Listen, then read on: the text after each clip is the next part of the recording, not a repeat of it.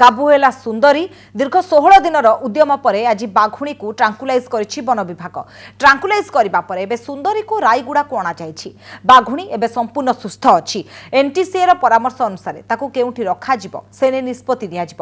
ଏପଟେ ସୁନ୍ଦରୀ ଧରାପଡ଼ିବା ପରେ ସାତକୋଶିଆ ଅଞ୍ଚଳରେ ଖୁସିର ଲହରୀ ଖେଳିଯାଇଛି। ଦେଖନ୍ତୁ ପୁରା ରିପୋର୍ଟ।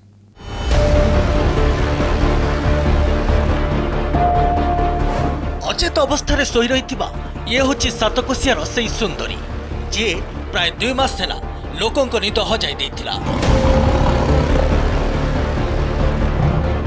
ଆଉ ବନ ବିଭାଗ କର୍ମଚାରୀଙ୍କୁ ନାକେଦମ କରି ରଖିଥିଲା ଘନ ଘନ ସର୍ଚ୍ଚ ଅପରେସନ ଏବଂ ତିନି ତିନି ଥର ଟ୍ରାଙ୍କୁଲାଇଜ୍ କରିବା ଉଦ୍ୟମ ବିଫଳ ହେବା ପରେ ଶେଷରେ କାବୁ ହୋଇଛି ବାଘୁଣୀ ସୁନ୍ଦରୀ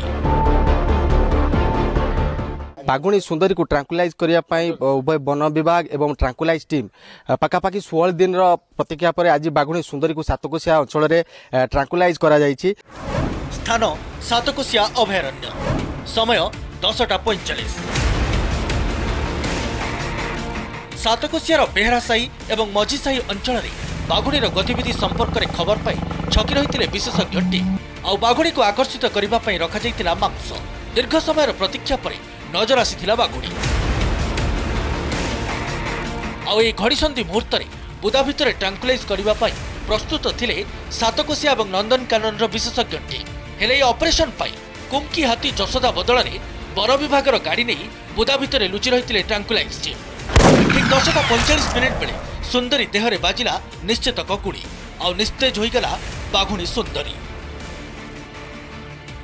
କ୍ୟାପଚର ଯେଉଁ ଜାଗା ଥିଲା ନଈ କୂଳ ପାଖାପାଖି ବୁଦବୁଦିଆ ଜଙ୍ଗଲରେ ଆଉ ବେହେରା ସାହି ଆଉ ମଝିପଡ଼ା ଗାଁ ମଝାମଝିରେ ହେଲା ଏବଂ ତାକୁ ତାପରେ ସେମାନେ ରେସ୍କ୍ୟୁ କଲେ ରେସ୍କ୍ୟୁ କରିକି ତାକୁ ରିଭାଇଭ୍ କରାଗଲା ରିଭାଇଭ୍ କରି କେଜିଂ କରାଗଲା କେଜିଂ କରିକି ନିଆଯାଇଛି ଆଜି ସକାଳେ ଆମର ପ୍ରୋଗ୍ରାମଟା ଏଇଟା ଯେଉଁ ଅଛି ଦ୍ୟାଟ୍ ହାଜ୍ ବିନ୍ ସକ୍ସେସଫୁଲ୍ ତାଙ୍କୁ କ୍ୟାପଚର କରାହେଇଛି animal is in good health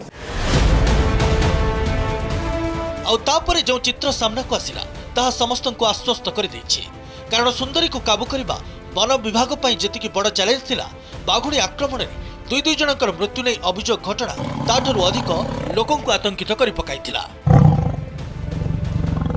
ଲୋକଙ୍କ ଯେଉଁ ଭୟ ଥିଲେ ବାଘ ଜଙ୍ଗଲକୁ ଯାଇପାରୁନଥିଲେ କି ଟାଉନ ସହରକୁ ଯାଇପାରୁନଥିଲେ ବାଟରେ ଗଲାବେଳେ ଭୟ ଲାଗୁଥିଲା ଆମକୁ କେମିତି ଯିବୁ ବୋଲି ଆମେ ଡରି ଡରି ଯାଉଥିଲୁ ବାଘୁଣୀ ତୁମକୁ ବହୁତ ଖୁସି ଲାଗୁଛି ବାଘୁଣୀ ଚାଲିଗଲା। ପୁଣି ଆଜି ଗଲା ଭାରି ବଡ଼ ଖୁସି ଲାଗିଲା ଆମକୁ। ଆଉ ଏଇଟା ଥିଲା ଯେ ଆମକୁ ଟିକେ ଭୟ ମାଡ଼ୁଥିଲା ଆମେ କାଠ ଖଣ୍ଡେ ପାଇଁ ଯାଇପାରୁନଥିଲୁ। କେଉଁ ପସରା ବାଡ଼ି ଟିକେ କରିପାରୁନଥିଲୁ। ଏଇଟା ବାଘୁଣୀ ଗଲା ଆମର ଯେଉଁଆଡ଼େ ଯେମିତି ପସରା ବାଡ଼ି ଟିକେ ଯାଇପାରିବୁ ଆଉ।